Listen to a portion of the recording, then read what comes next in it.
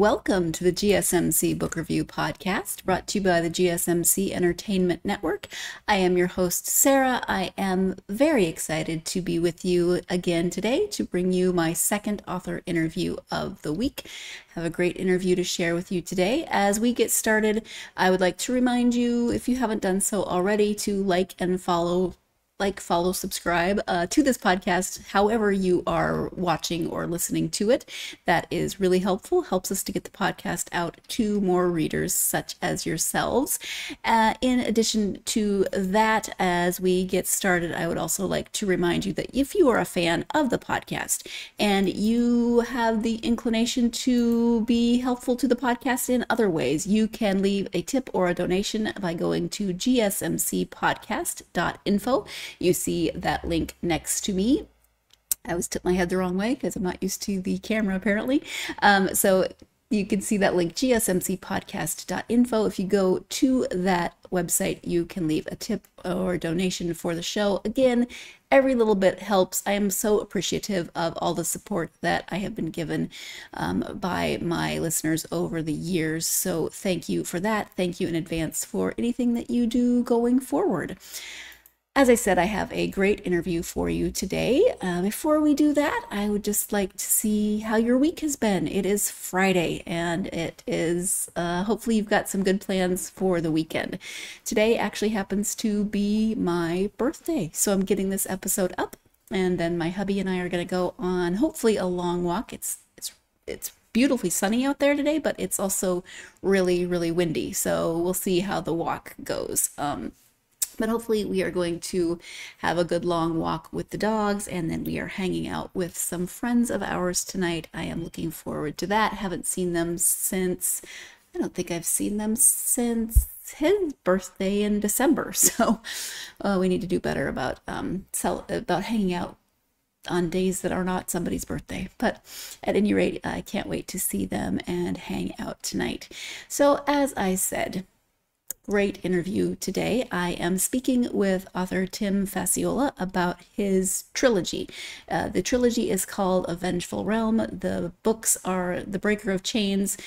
That's the second one, sorry. The Scales of Balance, The Breaker of Chains, and The Age of the End. I'm going to give you a description of all three of those one at a time. So uh, when we go into the second second segment, I will give you the in the description of the second book. When we go into the third break, I will give you the description of that third book um, after the third break during the third segment. That makes more sense, right? So let me go ahead and get this set up. The it's it's epic fantasy. Um, so it is set in a time uh, he describes it as kind of gladiator meets game of thrones so you get that game of thrones feeling to it with the epic fantasy portion of things. And then you also get, uh, as you can see by the cover next to me, you get that gladiator feel um, with the with, with you see the cover there. And I am there we go scales of balance just trying to get everything set up. So let me go ahead and give you the description first of scales of balance. That it is as follows Peace bought by blood seldom lasts, for vengeance knows no end. The same is true for mortals and gods alike. Decades, centuries, eras may pass, but the cycle remains. As war and revolution rise again, Zephyrus finds himself at the center of it all. Chosen by the gods, hailed as a prophet of liberation, and forged as a weapon to break the kingdom and restore balance to the realm, hope rests squarely on his shoulders. If only he could remember.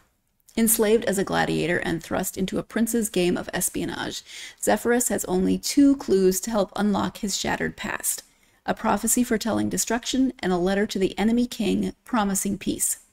Now Zephyrus must survive the dangers of the gladiatorial arena, the cunning fury of the prince's enemies, and the god's torment if he is to find the truth of his identity and fulfill his fate. But to have any hope of breaking the cycle, first he must secure his freedom, and not just from his slavers. Within this vengeful realm, a queen protecting her kingdom, a prince defending his father, and a gladiator slave haunted by a prophecy each contend for their own brand of freedom. But the gods have an agenda of their own, and they'll use any vessel, patrician, plebeian, or slave, to see it done. The scales must be balanced by peace or by blood. And so, again, that is the description of the scales of balance. You see there, the author is Tim Facciola, and I'm just going to turn this off. Epic Fantasy, all three books, uh, they're, they're not quite out yet, but the, the third book is coming out this month. So if you uh, are a fan of being able to read a series all at once, you can do that because you will uh, soon be able to have the complete series. Um, let's go ahead and turn to the interview with Tim so he can tell you more about A Vengeful Realm. Hi, Tim. Welcome to the podcast. Thank you so much for having me. Really excited to be here. Thank you for being here. I'm excited to have you. We're going to talk epic fantasy today, which is always fun. But before we do that, um, let's talk about Epic You. Uh, can you share a little bit about yourself so my listeners can get to know you? You know, when you sent the questions ahead of time, I was like, this is the hardest question. Oh God, this is the hardest question. I, it is. So a little bit about me. Uh, fitness professional by day, uh, writer by night. Uh, live out in the mountains with my wife. We love hiking and paddleboarding and being outside. And we're often the host when, uh, you know, people in the neighborhood, they come by, we host board game nights and, um, we love going to things like Renaissance fairs and um, playing Dungeons and Dragons, and we're all sorts of, you know, love that being outside, love the activity, but then love um, being nerds, being at home. yeah, absolutely. Um, there's nothing wrong with both. You can have a balance of outdoors and active, and nerdy and not active. Um, not that nerdy and inactive are necessarily i did i just realized how that sounded. I did not mean it to sound that way. I am a giant nerd myself so um and before we started recording you mentioned that it is 6 a.m for you. So i i commend you. Um you look awake. Um I'm awake. Would, I'm showered. I'm I'm here. I'm pre- present would, and accounted for. My eyes would be open, but I would mainly be grunting at this point if it was 6 a.m. I don't speak in full sentences for a while, but I'll do my best. I'll do my best. You're, you're doing good so far. So, um, epic fantasy, we have a trilogy, the uh, A Vengeful Realm. Um, let's start by giving just kind of an overview of the series of that trilogy. Sure. Um, well, be, being it's that it's video, I figured I may as well have some visual representation. Perfect. So, um, first we have book one of A Vengeful Realm. So, um, this is very much a like I one of the story seeds, like the seed that started this was con- the concept was fantasy Spartacus. So, okay. um, Gladiator leads a rebellion, rebellion against you know, very overpowered empire. So that was the story seed. That was one. Um, the second seed was I wanted a mythology that in which the gods very much meddled and were tangible in mortal affairs. Um, and then it became okay after achieving freedom from the empire, then it's a matter of well, there's bigger things going on, and now uh, the gods are getting involved. So this is book two. Um, you can see there's a little more magic going on with the ghosts. Uh, if you're if you get the pleasure of watching it with the the the ghost character, and then um, book three we have here, uh, which is entitled "The Age of the End," which is very much um, a the gods have come to play and it is not the more the mortal realm is in uh, some danger um, and something that was really cool that uh, my cover artist put together was the oh, spines okay. make an image that kind of showcase like this transition yes from uh from things yeah what what is uh you know achieving freedom from mortals that's one thing but when you're trying to achieve it from um a warring maniacal god it's it's uh the stakes get a little higher yep is that uh danella on the third book Yes, it is. Okay. Uh, the crown gave it away. Um, yeah. as I was looking at it, I couldn't remember what color her hair was, but I knew I mm. recognized the crown. um, and then, and you mentioned you wanted kind of mythology. You wanted that sort of Spartacus gladiator feel, and it is. It's it's when I started reading it, I'm like, this is fantasy. I'm waiting for the magic. The magic doesn't quite come into play for a bit. Um, but it has this very Roman feeling. Some of the names and places even have that Roman mm-hmm. feeling. So did you kind of base some of that on Roman mythology uh, to a certain extent? Yeah, yeah, the whole aesthetic, the whole culture. Um, I've always had like a fascination with like um Hellenistic culture and and you know how the Greeks influenced Rome and um their just like the, the te- technologically like the advancements they were able to make. I always found that fascinating and um politically and socially all of their uh, tactics and how they maintained control over such a large landmass over you know such a you know long period of time. So one of the the founding concepts of this world was, well, what if the Roman culture consisted into and dominated like the feudal period of mm. Europe? And and so like you know you've read so you can kind of see there's crossover. There's like kings and castles. Yes. And but yet there's this Roman feel that's very much like um apparent and and and there you know if you're at a crossroads of society of, of a society's development.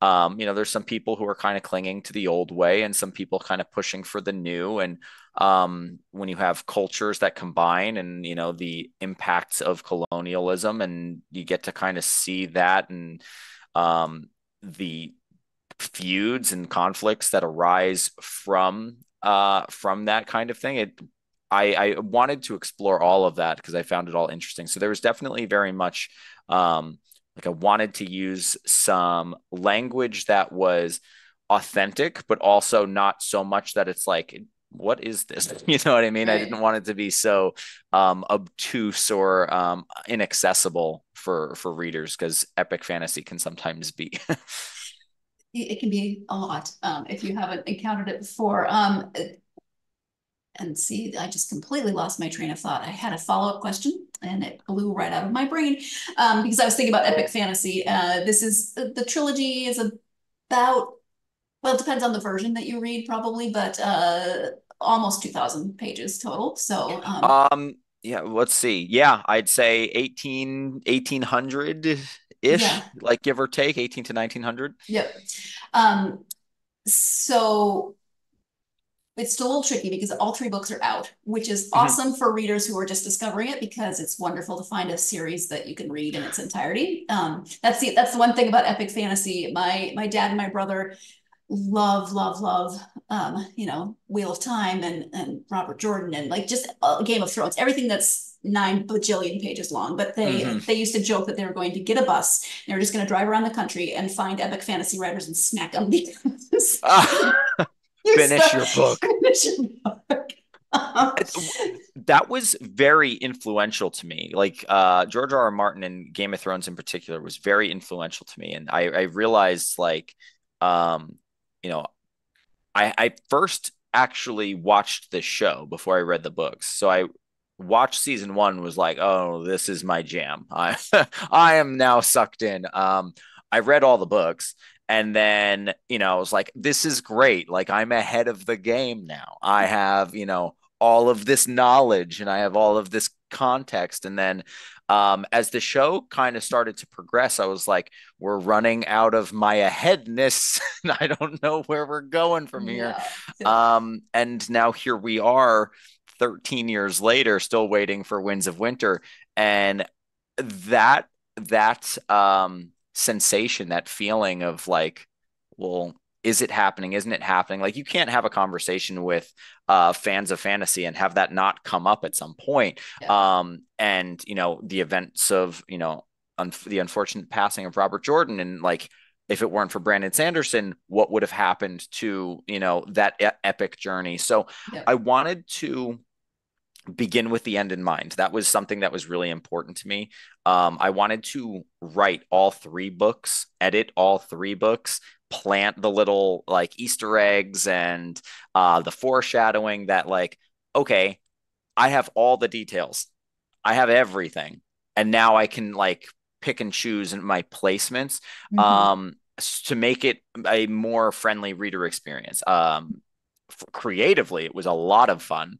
Uh, business wise it's probably not the best idea.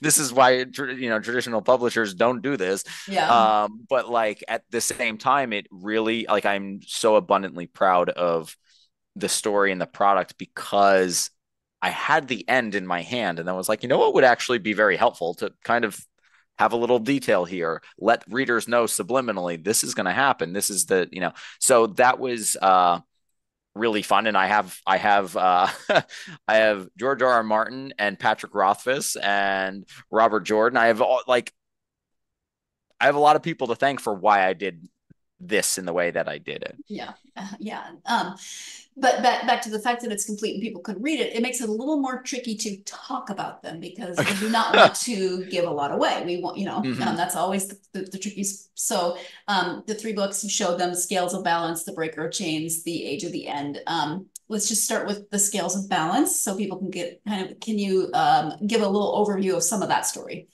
Sure. Um, so it is a big cast. We have seven point of view characters. Uh, the big three uh, are Zephyrus, Layden, and Daenela. So um, this is after a 20 years of tentative peace, things are starting to break down. There are some theological disputes that are starting to cause division within the kingdom. Um, there are, you know, these prophecies that are starting to come about, and some people don't feel very pleased or safe about that. So they're trying to stifle um, and put down that. So at, at, the rise of this oppression, um, there's going to be people who fight back. And Zephyrus is the an amnesiac, um, and he's he's prophesied to be this, you know, savior, even though the prophecy is somewhat um, convoluted and and and like equivocal. He's not really like what does this mean? Like he right. he and he could, he you know, be any part of that prophecy. exactly. Yeah. And so he's like, is he was you know hoping this is going to clarify some things. It only raises more questions. Um, but then this is happening concurrently with a uh, Queen Daenela is this isn't a spoiler it happens on you know chapter one page one um you know she loves her husband the king but uh she's preparing to assassinate him, uh, have him assassinated for his leniency to this um, this religious group and um, and these people who support it, because she's afraid that it's going to incur the wrath of the gods and. Right. She's, you know, doing this in secret. Like, uh, so her stepson Prince Layden, who um, has an interesting journey in and of like in and of himself, like he's kind of a microcosm of uh, this divided world as a whole. He's, you know, his father was, you know, royal, but his mother wasn't. Um, and that was a controversy in his youth.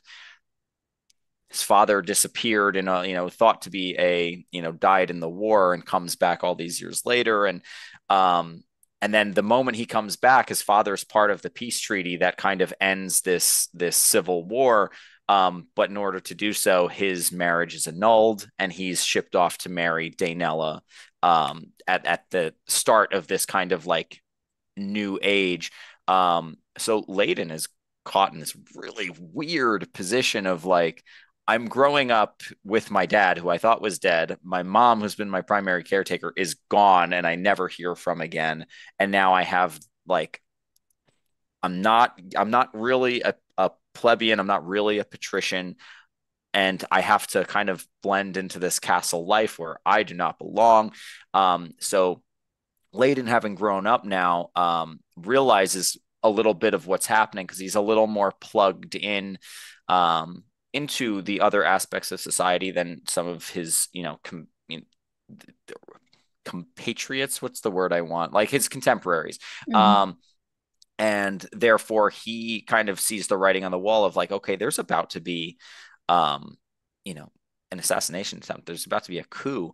Um, and he doesn't realize that it's his stepmother that's propagating it, but he puts himself in the middle of it. And he is even using Zephyrus to serve as a spy to stop uh, this this coup against the kingdom by just you know spy get information you give me information i'll give you freedom. Um, and all all along Daenela is pulling the strings of no none of that's going to happen. Yeah. When i read you the description for scales of balance it mainly talked about zephyrus which is great. He is one of the points of view, but now that you've heard an introduction from Tim and you know a little bit more about the book and the trilogy, you know that it is told from multiple points of view. And Tim was just talking a little bit about Layden and Daenella. And uh, for me, the beginning of book one, Layden was a little more. He was there was a lot. There's a lot of gray areas, which is people, right? Um, but he he made some choices that I wasn't quite sure how I was feeling about. Daenella felt a little bit more straightforward. You know, you were supposed to kind of know she was instigating things, and um, it was harder to tell with Layden where he was going to come out. So that that was well done in terms of, okay, well, we think he's we, he he just kind of rescued Zephyrus from one situation, but he's thrown him into a completely new situation that's complicated. And that's the great thing about characters when they, they really make you think and wonder, oh, oh my goodness, what is really going on here with this person? Um, it is time for our first break of the podcast. When we will come back, we'll be still talking about writing from multiple points of view. What were the challenges of that? What were the things that worked really well, etc. So stay tuned. You are listening and or watching the GSMC Book Review Podcast, and I will be right back.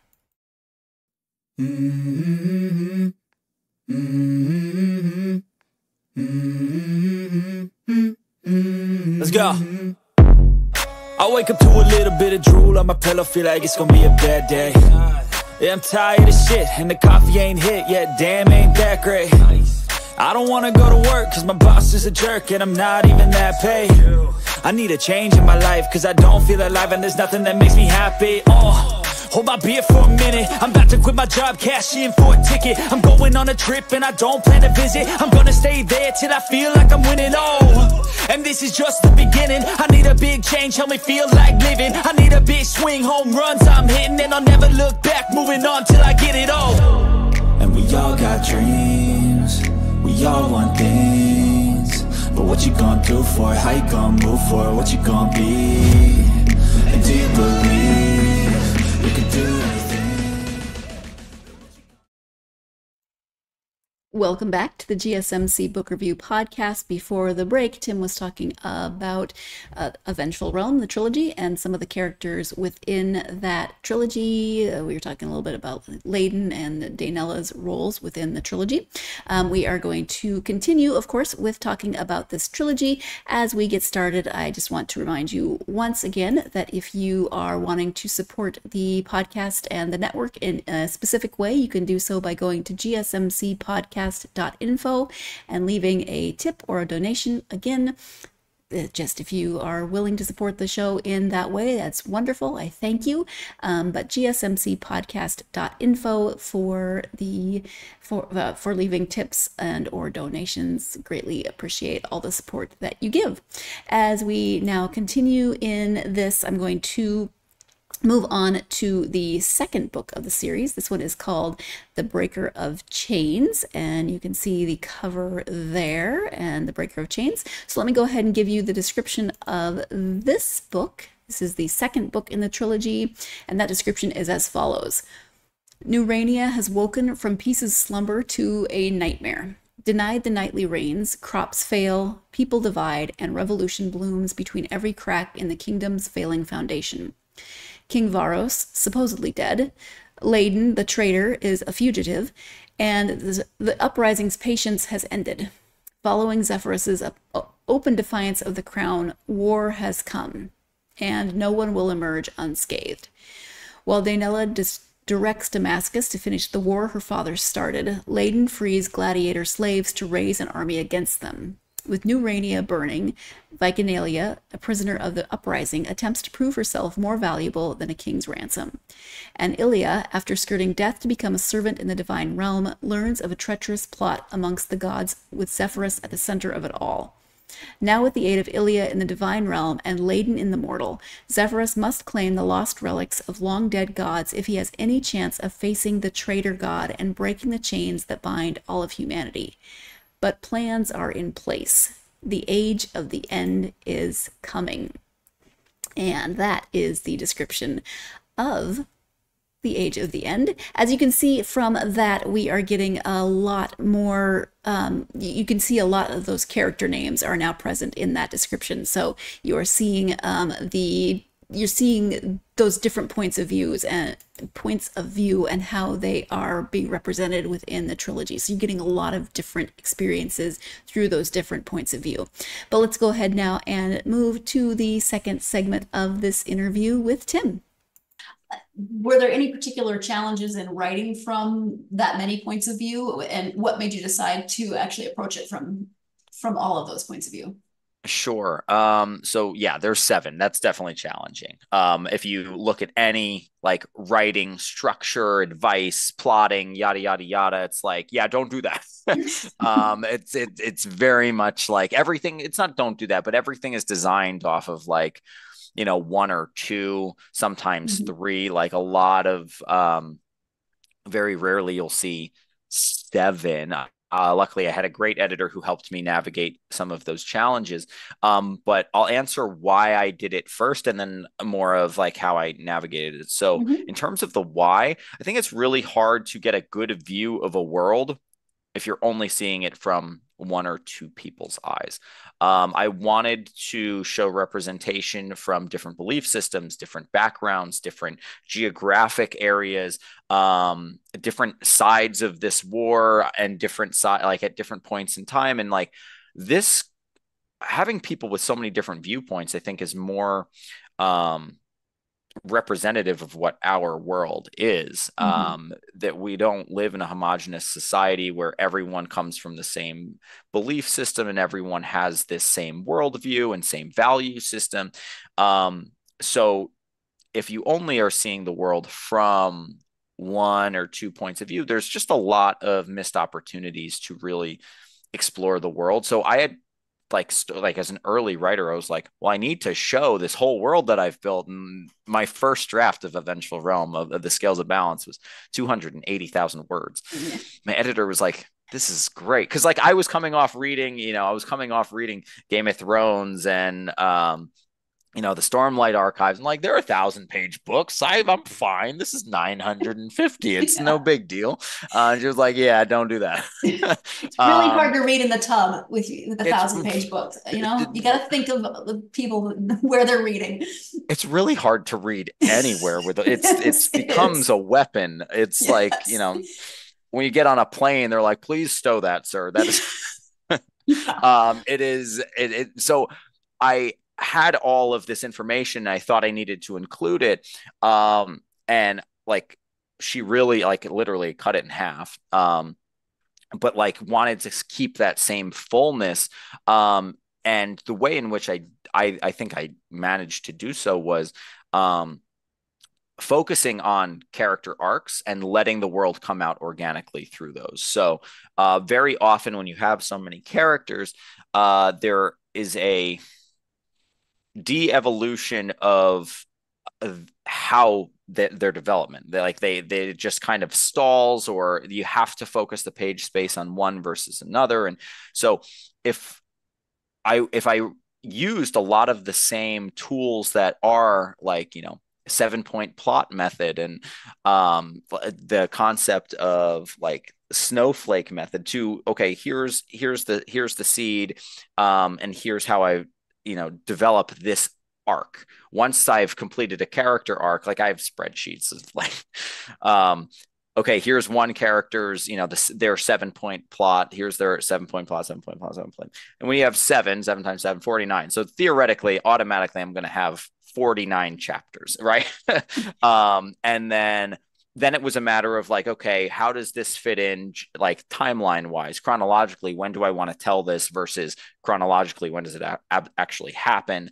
Um and then the other component of that was like okay this this gives us the big moments but like the interconnections and and how these things like because at first especially in book one these characters are um you can start to see um like okay i can see how these guys might be connected and you think like okay this person's connected to that person this person's connected to that person but eventually it all comes together and it's um, you kind of can't tell um, one of their stories without all of the others and that that type of interconnectivity um, i've always found fascinating um, in media that i've like engaged with so um, it was important to me to create create a world that felt lived in by different people mm-hmm. and not just like one um one or two. In epic fantasy i feel like you usually do get quite a few different perspectives um yeah. and so that it just felt very natural for me.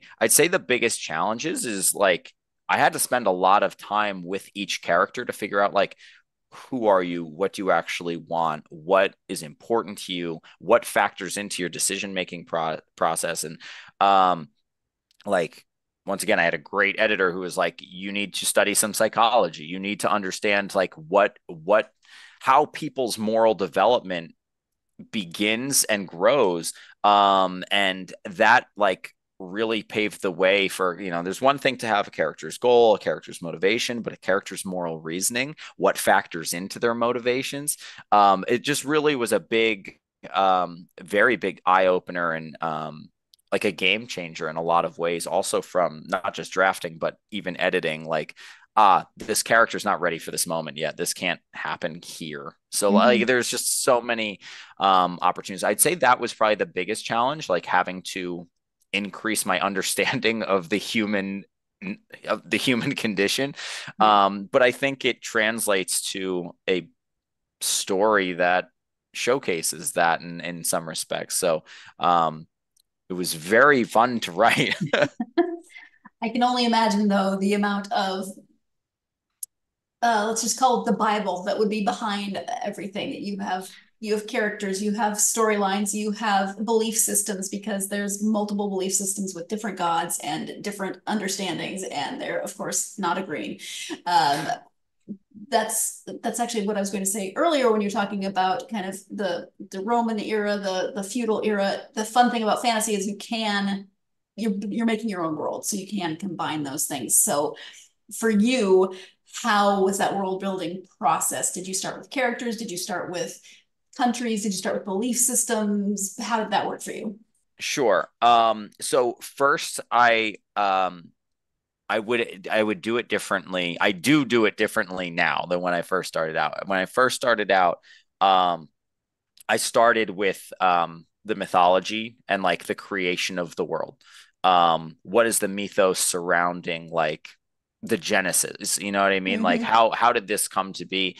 Um, and how does that impact the world? And then the trickle down from there. So um, there are areas within the story um within this like this world in particular that like hmm, would that have been how that would have happened? Like the concept of um like historically there's there's enough possibility to be like yeah that that could have happened. But um now i kind of i kind of start with geography. Like i i begin with the geography. What does this world look like and it it starts with like many phases. Um, starts with geography, then it, I g- kind of go into magic systems because once you have magic in a world, it changes everything. Mm-hmm. It like how like everything from resource availability and scarcity, like depending on what the magic can do.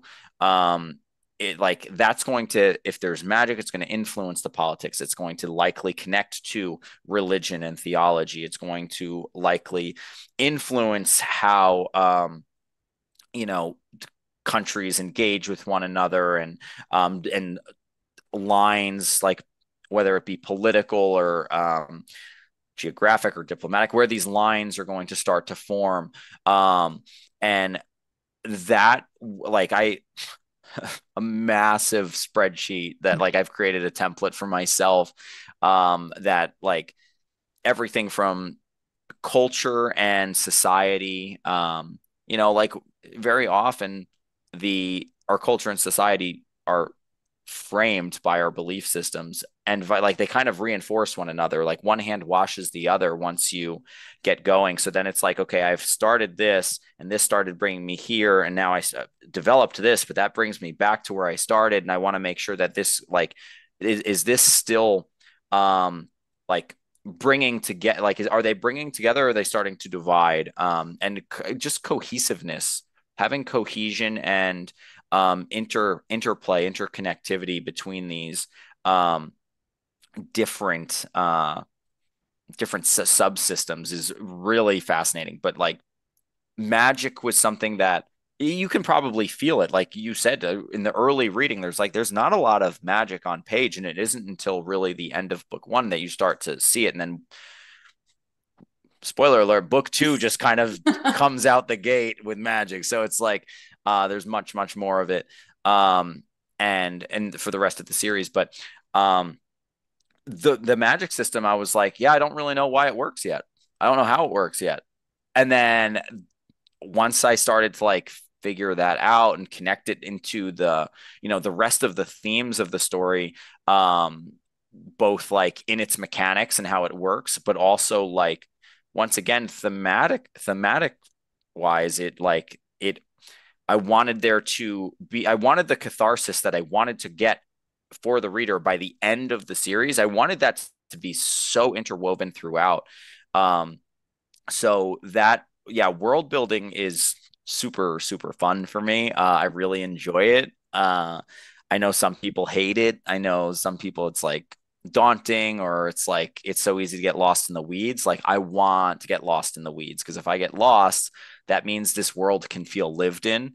Um, I don't want to like I don't want to just dabble in the world. I want to be part of it, you know? Yeah the maps in the books. Did you draw those? Did you have someone help you draw those? I mean, how do you create an entire new place and places?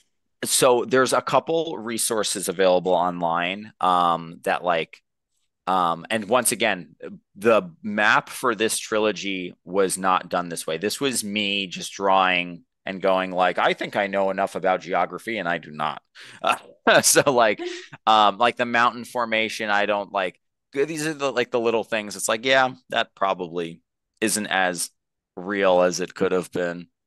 Mountains don't make L's, you know, like, but like for the most, if it if it ruins your, uh, if it you can't suspend your disbelief and it, it takes you out of the story that the mountains are like not as authentic as our mountains. I'm i'm sorry. If that i hope that doesn't ruin your reading experience but i admit it is there. Um but like i want uh, wanted something that like showed this opportunity for connectivity but also like it, reasonable divisions could arise from. Um and because like the Rainian people are migrants that come and settle um Perillian Stockholm, like this whole landmass of um these large islands so to speak so um I I wanted this like I wanted a very clear differences of like, okay, we're we're here versus we are there. I wanted that sense of place to be much more um, like you can feel a difference when you're in each place. Um, but at the same point in time, it's probably not geographically sound. Like ge- mm. a, hmm. geologist would be like, "That's not how that works." a cartographer, that's not how that works. Um, but I, I, I had this drawn out like pen and paper and then I, I gave it to an artist was like can you make this not look like this um and she did. I, I love the map. I love how it came out. Um the the color one is gorgeous. It's just a uh i i, I love the world. Now i use like actual map making software that like if i put land here and mountain there it's going to it's on its own going to algorithmically form rivers based on what is the water, what is the wind, what is the, okay. and then I go, okay, now I have a geographically sound world, and now, and that's why I start with it because if I come in with with this story, I came in with like, well, this has to be here and that has to be there and that's there, and it's like, well, that wouldn't actually probably work. Hmm. Um, but I have gods that start earthquakes when they're upset, so it like mm, I can do what I want. it's not tectonic plates. It's not like it's I can gods. do what I want. Uh, it's gods. So it's I, I think I uh, I can give myself a little a bit of a pass with that. But uh, yeah, so that's that's I I drew it out. I hired someone to make it prettier than I had any any chance of making it. So um, when in doubt, hire out when you can. So I'm um, just I keep picturing that that I, I, don't know if it was Facebook, TikTok, but I've seen it multiple places where uh, you just take rice, dump it on a paper, and draw around it. Have you seen that? In how oh yeah, absolutely. Absolutely. I mean, it works in theory.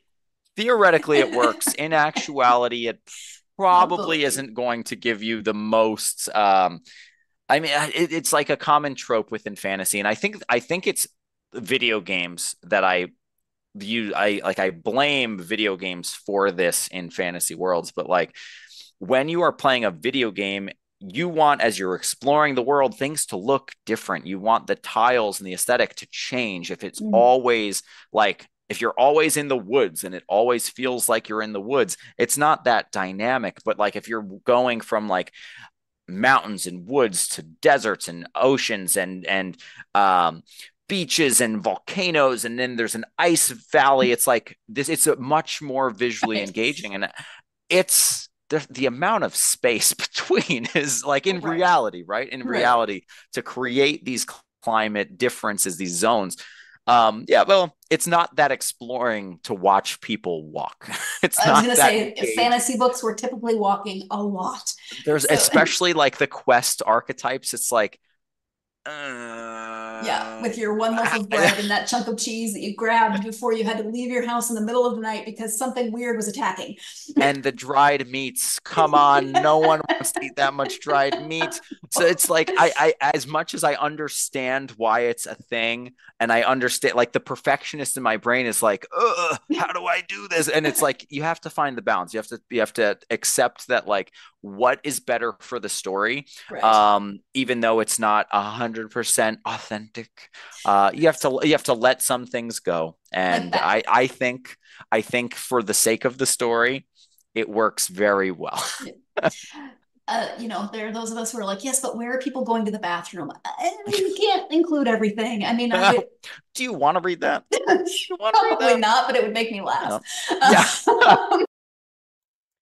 Okay, so yeah, sometimes I do wonder about those sorts of things. Where, when are they going to the bathroom? Where are they going to the bathroom? Uh, you, you, know, there's a lot of things that happen in our day to day lives, and I know it, it that would be uh, very silly to include all of those details. Like every detail would get annoying, but um, you know, the occasional reference about the logistics of things, which was not the actual conversation that we were just having in terms of what you include, how you include it, what needs to be left out, what needs to be left to the imagination, etc. You know, and even just from world building, how do you include everything or not everything and and have it still make sense? Uh, it's time for our second break of this episode. When we come back, we will be talking um about names in fantasy, which are sometimes hard to pronounce. If you heard me stumbling a little bit reading the description of the Breaker of Chains, it's it, it's it's interesting, and it's always interesting how we, the readers, hear you know pronounce names and how the author actually intends for them to be pronounced. So we are going to uh, have that conversation when we come back. Uh, stay tuned. You're listening and watching the GSMC Book Review podcast, and I will be right back with more uh, interview with author Tim Facciola.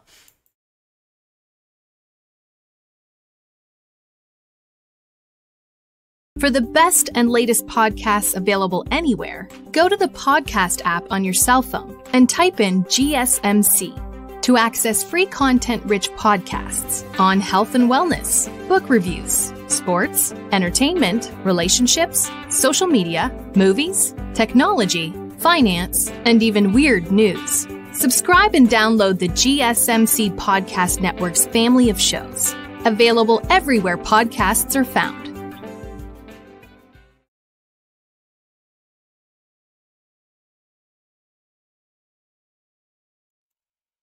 Welcome back to the GSMC Book Review podcast and my interview with author Tim Facciola. Before the break, we were talking about plot and world building and details and what you leave out and what you include and how you go about making those decisions, how much can be implied, etc. Uh, we have one more book in this trilogy for me to give you the description of, so let me go ahead and set that up so that you can see the image. This one is called The Age of the End. It is not out yet, but it will be out very, very soon. So like I said, if you want to read all three at once, you can do that. This is the description of the age of the end. The flood of blood drowns Nurania, but the age of the end is only just beginning. Though the traitor god within Valencia has been exposed, and Zephyrus and Thraina wild the artifacts of long, de- long dead deities, the way to the divine realm is blocked. The Harbinger has ascended to slaughter the gods and leave the mortal realm in ruins. Yet Zephyrus, Layden, Vicanalia, Ilia, and Thraina have even more pressing concerns. The Skeleton King has come to New Rania's shores.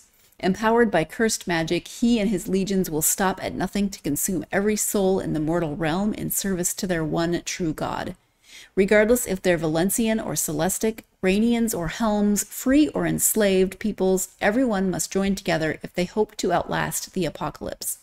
Even the worst of enemies. Bonds of friendship and love will be tested. Chains of guilt and disdain will come undone. One way or another, the scales will be set right, and nothing will ever be the same again. And so you're getting, you, you can see there's there's a lot going behind these, but you can see the progression as we read just the descriptions of these uh, three books. And so hopefully you are intrigued, especially if you are a fan of high fantasy and you're saying, you know what, yes, I, I do want to know more about these books. So let's return now to the interview with Tim, and we'll be talking about, as I said, names in fantasy. So, um, somebody commented to me recently about uh, names in fantasy books and how sometimes they can be a little challenging. And I'm I'm laughing to myself because uh, I thought I was doing pretty good with yours, but um, you're saying Zephyrus in my head. I said Zephyrus. Uh, you're saying Daynella in my head. It was Danella. Mm-hmm. so how much? I have trouble naming my pets. How do you go about naming this many characters and figuring out fantasy names? So I hate naming things. Me too. Hate naming things. Thing one, thing two. I would love like it, I when I was in a band and like I'd write the songs and like bandmates would be like, "Okay, what's the name of this song?" I'd be like, "I got nothing. That's on you. I have given you everything else. You need to you need to meet me halfway here." Like, could not name songs. Um, so character names. Um, different some characters like it's just like yeah this feels right or like i like that i like the sound this has i like the meaning behind this. And others it was it's more like um like this this represents something some like construct in my head you know and it's usually arbitrary at when it gets to that point. Um so yes uh in terms of the pronunciations yeah like i I, I told you like I my, my, best TikToks that I've recorded are the ones where it's like pronouncing fantasy names and it's like uh it's it's it's I no matter how much you try to make your name simple, unless you're doing like Mat and Rand, you're still gonna. But then, as much as you have some easy, like some gimmies like that, then you have things like the Aes Sedai, and it's like, why is there an apostrophe here? Like, where? How does this change the? And there's so many like names. It's like I, I don't know how to. I don't know how to pronounce that. um, so I feel like um, my big thing is naming conventions. I wanted okay, if you are from this this culture, like these are the naming conventions around this culture. Um, if you're from so like a lot of the Ranians and the Valencians, like there's a, a lot of male names either end in like US or they end in like an N. It's like that very very common that's like the the naming structure. Um whereas um the a lot of the celestic people the people of Stockholm, um their names don't really have that same those same hard rules but they're usually shorter they're less syllables um or like they have stronger consonants in a lot of their names like so it was just like i wanted i wanted the naming conventions to be consistent across like across the different things but then when you have two worlds that come together and you know this forced assimilation well now you're starting to get things that start to amalgamate and change a bit and i wanted that i didn't want it to be so obvious that like okay once again, it doesn't, it's not going to feel all that lived in. So, um, like the hard and fast lines of like, okay, this is in this box, this is in this box. But when you actually put them all on the, on the board, so to speak, they start to mix together and things change. Yeah. Um, so I wanted those influences, but like, um, so coming up like Zephyrus's name. So um when when recording the audiobook um i needed to put together a pronunciation guide for the narrator. Um, so and then like we're me he has the sheet in front of him. He's looking at it, he's like, Yeah, I just still don't know how to pronounce it. I was like, I have it like I don't know how to write phonetically. And then um is like I is it this? I'm like, no, that's not it at all. so it's like I'm glad because I almost put that in the book. Like that would have been more confusing if I have a pronunciation guide people can't follow. yeah, yeah. so um yeah, like I've I've heard Zephyrus, I've heard Zephyrus, I've heard uh Zephyrus, I've heard like all sorts of things. And I've I've never been like most people are they're gonna read the first letter, associate that word yeah. shape, and then that's the character. And like yeah. how you I have to talk to someone about it. Like I and um I imagine being on a podcast, right? It's like, okay, I know how to spell the names of your characters. I don't know how to say the name. Yeah. Like I think I, I always find that um very funny. And people who listen to the audio, they can't spell anything. So it's right. yep. it's like they're typing. I'm like, I have no idea who you're talking about. And I wrote the book, you know. So it's it's always it's always fun. Um, but yeah, I think um a lot of the names, like now that I'm working on like um a Ghosts of Rania, which is uh Thraina's origin story. So she's a character um throughout the trilogy. Like um that like I just finished that up. That's being edited Frania, now. Pronounced right, just in case, so you know. Nailed it. I got one. there we go. Um, but like, so now I'm like world building again for like this. I've been in this world for like ten years now, so like getting to like start from scratch and you know, change how I do things and kind of once again begin with the end in mind a little better, having learned a thing or two from going through this once. Um, I'm like coming up with names again, going like, oh, I don't miss this. like, yeah, it's hard. I find it very, very challenging to name things um, because you want to evoke a feel. Um, you want to evoke some degree of consistency. Um, so like using using root root words, using um, other languages to kind of influence um, how sounds. I wouldn't say I used a lot of other languages. I used a lot of Latin Mm-hmm. um, mm-hmm. to kind of help uh, in the naming conventions of some things. Um, but for the most part, it's like, does this sound cool and does this fit this naming convention? Does this roll off the tongue? Um, and it may have rolled off my tongue. Like I grew up, so um, I grew up with a speech impediment. I couldn't say my L's and R's.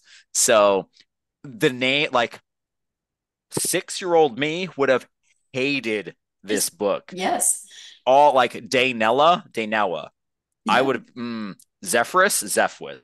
Like yeah. I would have Waden. I'm like, why did I do this? Like little me is very upset. New Rania, it would be New Wania. Like it would it, uh, it would have been awful. Ilya, I can't. So, Ilya, Ilya, I can't even. Ilya, Ilya, Ilya. it would gross. That sounds gross. That doesn't sound like a good name. That doesn't sound like it fits any naming. Ilya. Um, Ilya.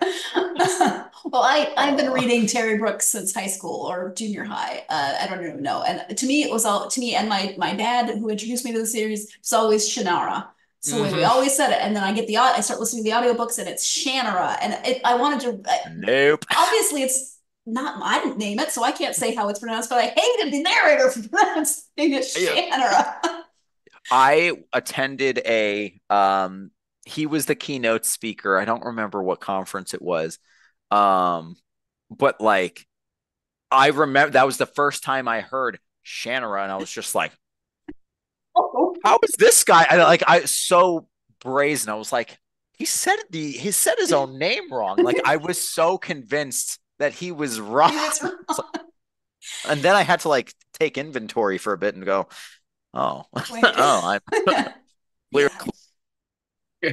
yeah, it's just yeah, it's it's it's amazing. But um, so you actually answered part of my question because this trilogy is complete, but I was going to ask if you're returning to the world, and you are. So is um Thrania's story what you're working on now? Um, so yeah, I'd say that that is like it's in the editing process at this point. Um, so I'm hoping it's a little longer than I wanted it to be. Um, so I'm I'm trying to condense some things and trim some things to just uh, sharpen sharpen it to more of a razor's edge as opposed to this feels a little bit more like a mace. um, but it, yeah, so editing that now, so it's uh Threna's first encounter with um with the Skeleton King um, in old Rainia before um, before the, the Great Migration. Um, and that is a very dark story. Um, there, there's imagine. like I, something like I always wanted with these books. I wanted like um, there's hope at the end. There's all like that's what we are. There's hope at the end. Um, it's going to be dark, but we're going to push through. And if if the sun hasn't come out yet, we haven't reached the end yet. And that's kind of like um, philosophically, like it just kind of what I th- what I value, what I think is important. Um, and I I like I love a lot of like I love so much of the journey. Like I'm reading like Grim Dark, and then it gets to the end, and I'm like, this doesn't feel like the end because it's so dark. Mm-hmm. um, so like I wanted there to be like it reads like a Grim Dark, but then it kind of has this uplift um at the end that you know restores a degree of hope for humanity. Um, but writing within this world um like Ghost of Rania still has that hope, but it's definitely I'd say a darker tone than um, this trilogy. Um, but the the other stories in this world are a possibility. Um, there are there's another sister trilogy that has been in my head for a number of years that would it like elements of it found its way into the series um in like books two and three um, so I won't say too much on that, but there's like a character that has overlap, even though it's a 300 year gap. The conflict of the gods is very much showcased um, at this other point in history See, in this other place. About. Yeah. um, so only so character like, I can think who would have a 300 year overlap. mm-hmm. so like that's really fun. I one day I would definitely love to explore that story. Um, then there's I so I don't have you read like the Red Rising series and I've not but I've okay I, I so there's the original trilogy and then it has a very definitive end and it could have ended there and some people wish it did end there but the author brought it back and then there's a quartet that's like that follows up like 10 years later um and i've I'm so curious how the the seventh book hasn't come out yet. So I'm really curious to see how it wraps up. And my whole thing is I will only open up this trilogy again. Like if I, I'm totally fine to write like short stories and like things from the world and things that happened before or things that happened um you know during and give other context. But in terms of adding past the ending that I have, I'm very hesitant to do so because I love the ending personally. Mm-hmm. I don't. Mm-hmm. Uh, we'll see if book three comes out in a couple of weeks. We'll see how people feel about it. Um, but like, I love this ending. It feels very. It felt very right to me. Um, it gave me the catharsis I wanted when writing it. Um, I hope it gives the readers that same the, those same feelings. But um, in order to open up this story again, I did leave seeds. Yes. I did leave little places where I can like ah this is going to be trouble um, to reopen it. But yes. I do think there's a degree of if I open it too soon, it kind of cheapens the journey of this mm. original trilogy. Um, if I open it too late, it's kind of like, well, what's the point with the characters that we've grown to know and love aren't there? Um, and there's also an element of, I think um, there's a lot of influence from like things like the Marvel comic universe, like the movies, like that first 23 arc movie series, like it did so well. And then now there's like this second era, it's not doing as well. And it's like sometimes it's just better to leave that and let's move on. Let's do a new thing. And um, but I like I I do love these world. I love this char- these characters. Um, I gave myself the opportunity, but it's definitely something that like I would plot out from beginning to end, know the ending. I might not mm-hmm. do the same thing and write right. all of the books, um, but I would absolutely have the whole thing plotted out and know, okay, this ending is even better than that ending, so I will do it. But that's what it would take for me to go back and um, reopen it to continue the story. Yeah. Yeah, because fans are complicated. Nobody, yeah. you can't you can't make everybody. You can't please There's, everyone. No, exactly. Somebody's going to be angry with you for no matter what number of things, from pronunciation to endings to everything in between. Well, I think there's a degree of subjectivity and objectivity um, within like story structure. Like objectively, there's an end. Like there's a subliminal message throughout. Like there's a subliminal promise that's being fulfilled.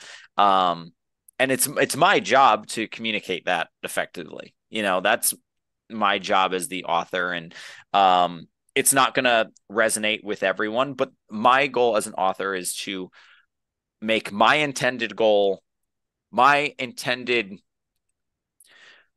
vision for the story i want the most people possible to be able to resonate with that vision if i have done that I've done my job. That's how I view it. Like some, I know some creators, it's like, um, well, it's up to the reader to decide how it ends. And for some people, like some people love that because it's a great conversation starter. I don't. I feel like I'm doing the work for you. like, I just give me an ending. Yeah. Um, they, like some things go on too long and you wish they ended, and some things get cut short before, and some things just kind of fizzle out. So it's like where where do you draw that line? Um, and the current line of where it's drawn, I'm very pleased with. So what and more can I do? You said a couple of weeks for the third one. What's the release date? Um, so this is where things get. This should be a very easy cut and dry question with a very easy cut and dry answer. Um, I believe the Kindle ebook and the hardbacks and paperbacks will be available on the 24th, April 24th. Okay. Um, the audio book will likely oh, yeah. be released a little earlier. Oh, earlier. Um, oh, yes, it is finished. Later. Um, it might be like the 17th. It's Audible. Um, I release through Audible. I can set like come out on this day, but then like, um, I like in terms of giving out arcs, it's like I I can go through NetGalley, I can go through da, da. it's just like okay, I have I have the promo codes. I want I want to get them out. I want to get people listening to it and then that way I feel like people who do audiobooks like they're going to churn this out really quickly and then boom on launch on launch day um where I'm like telling everyone, "Hey, it's launch. um, there's already some degree of like there's some reviews out already and all that sort of stuff. So um, I would say the 24th is the let's go with the 24th. Somewhere towards the middle to end of April. Good to know. The 24th, the 17th. I mean, you can get the audiobook on the 17th, and uh, we know I love an audiobook, so that is great. Uh, but it's coming out somewhere around in the next couple of weeks, right? I mean, you'll find it. It's good. And then you'll have the whole thing. We're going to take our final break of this episode. When we come back, Tim will be talking about that path for publication, how it worked for him, why he decided to publish, etc. Stay tuned. You are listening to and watching the GSMC Book Review podcast, and I will be right back.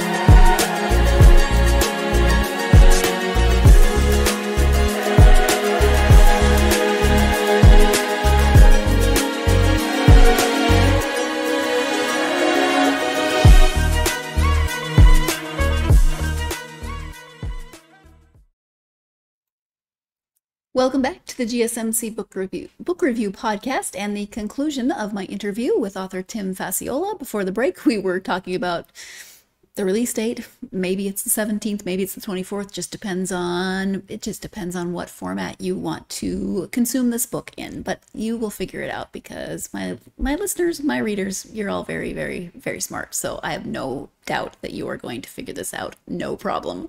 Let's go ahead and get to that last segment of this interview. If I can find the right area. Bear, just give me a second. I was doing so well right up till this point. What made you decide that you wanted to write for publication and why epic fantasy specifically? Okay. Um,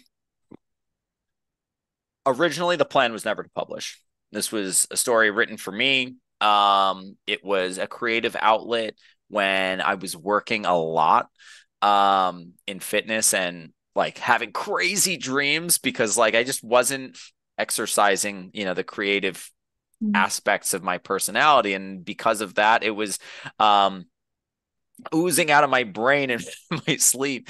Um but it was so it was really just i was writing for me. Um i got to the point where i finished it and was kind of like a what do i do now? Like i had finished book one and was like what do i do now?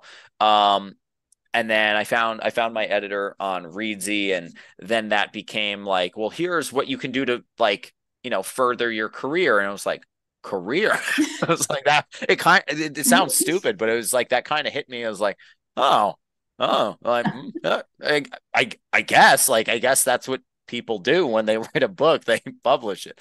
Um, and I, I went through like I did the querying trenches. Um, I started querying in 2020, which publishing in 2020 was it was mm-hmm. it was a time. It was yeah. what a time to be alive. um but it I hated it. Mm-hmm. um, I it, it's I I like systems. I like efficiency. I like a lot. So many agents that I have had the pleasure of you know speaking to. Um, they are the kindest, most passionate people on earth.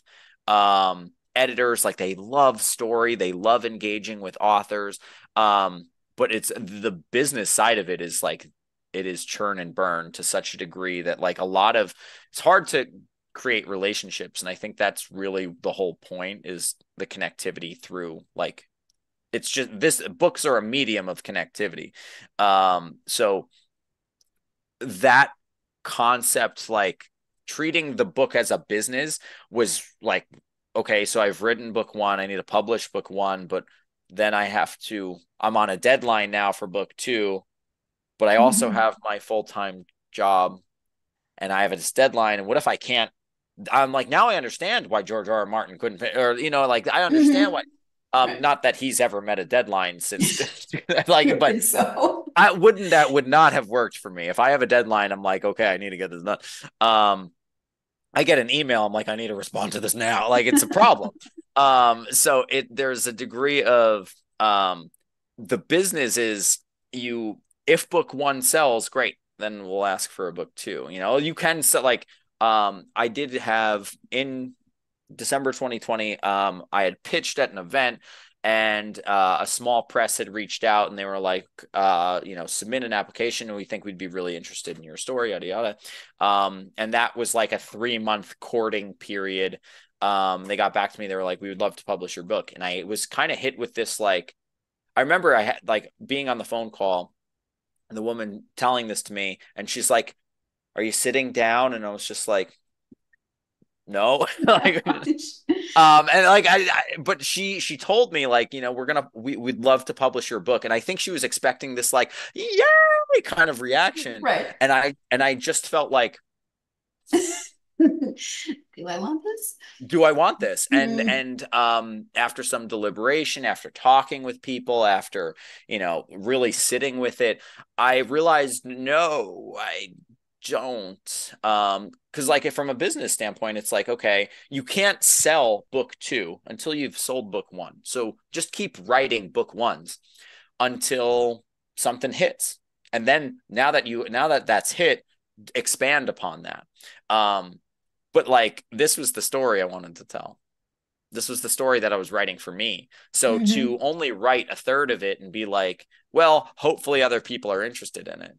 Um, that didn't work for my create the create the business side of it. That makes perfect sense. But the creative side of it was like, I don't that doesn't feel good in in me. I don't that doesn't jive with um, the space I want to create from. So um, I understand why people do it. Just it wasn't for me. So that's why I decided to um, like finish it and rapid release. Um, so that was when I decided to um, publish it. I'm sorry, I forgot part B of that question. I think you, I think you kind of answered it. Uh, why epic fantasy? Well, you wrote it for you. Oh, uh, clearly, yeah, um, yeah. I think you enjoy it, it's definitely I've and it's always been it's I've always really enjoyed um I think I'll all like I've tr- I've tried to write not epic and just have like small cast the concept of a short story stresses me out stresses me out. I need a long runway um and I think that's just um you know I've I've talked to my editor, I've talked to other authors about it. They're like, oh, that's just your brand. And I'm like, yeah, I get that. But I feel like I should be able to, you know, exercise these uh, other muscles. And, um, but there's, there's a degree of, um, there are smaller, more condensed stories that I love. But generally speaking, the bigger something is, the more interconnected something is, the more I can fanboy over it. And that's mm. really what I'm after. um, and that I think the epic fantasy lends itself well. Um, I'd also do like I would I would do epic sci-fi, but it would also be epic. You know, I would do like a space opera. Space I would not opera. I wouldn't just do like it has some sci-fi elements. Like I don't think I could do that. Right. Well, but then nothing against that. It's just and you also have to do a lot of research into science because you have to you have to know stuff. magic, is, yes. magic, you can fudge a little bit. Science, you gotta at least Sci- have it be plausible. Hard science, you gotta you have to do some research. You yeah. can do there's some soft science out there for sure, but like um, you know, the midichlorians and um, but like there's there's definitely um a degree of you have to have some systems in place to make it believable and functional and um, have people in your story as opposed to thinking of like trying to break it. Like there's always going to be those people who are like, this doesn't work. Yep. Um, but yep. Um, for people who want to know more about you, about the books, um, website, if you have one, and any social media you're active on. Yes. Uh, so website is Tim Facciola. So T I M F A C C I O L A uh, dot com. Um, that is the website for all all things bookish. Um, I am on social media. Uh, I'd say I'm most active on TikTok. Um, if you search the handle at Tim Facciola, that'll show up. But I'm also known as at Epic Fantasy Author, which that probably should make sense. Um, and then um, on Instagram, I'm it's Tim Facciola underscore the author.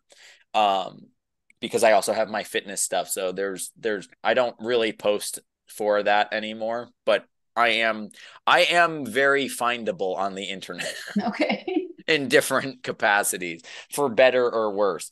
Um, but I would say uh, in terms of getting in touch, um, you can go through the contacts via my website or um, through uh, I'm try to respond to everyone I'm on everyone on TikTok. So um because that's once again I said it earlier, like what's it about? It's connection. Yeah. And if people connect with my stories, like that's awesome.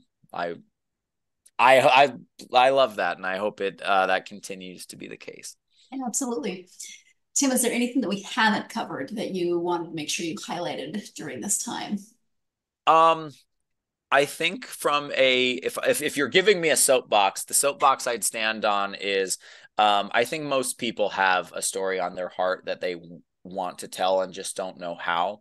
Um, and there are so many tools and resources out there, right? Like there's free things, there's courses, there's um, like so many like webinars, and there's so much you can learn.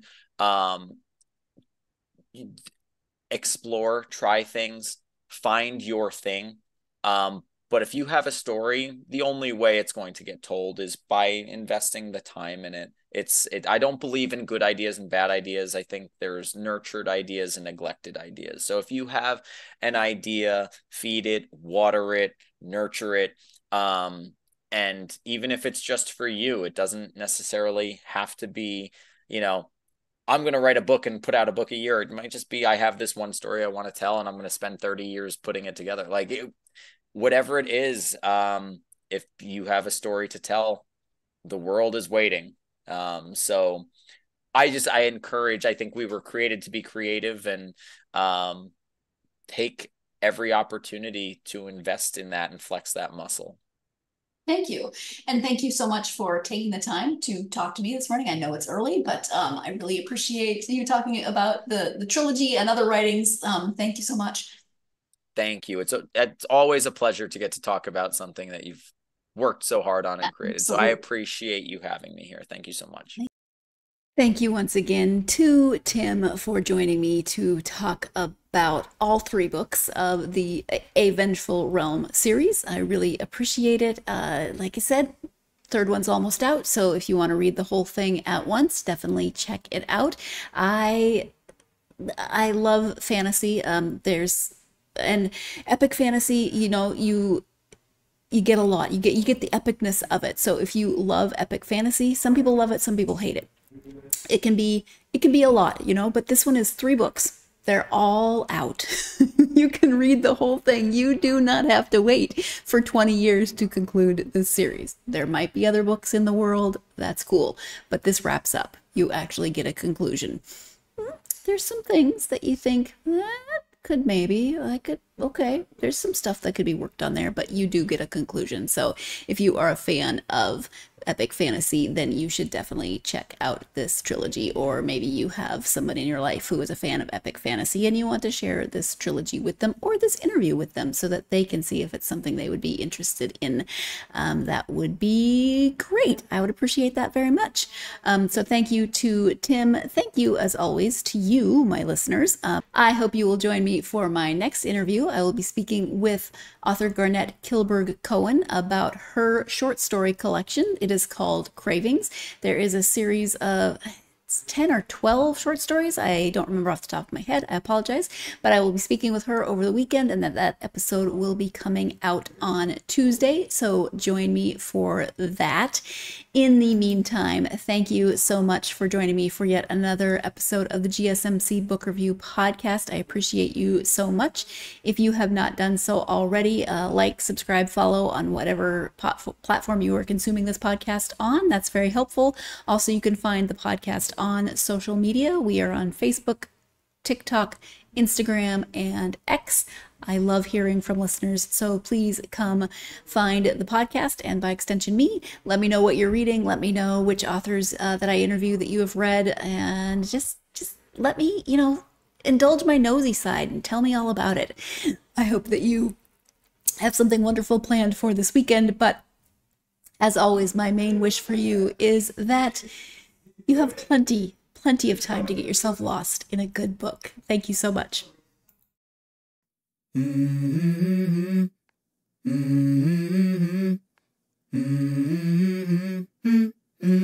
Let's go. I wake up to a little bit of drool on my pillow, feel like it's gonna be a bad day. Yeah, I'm tired of shit, and the coffee ain't hit yet. Damn, ain't that great. I don't wanna go.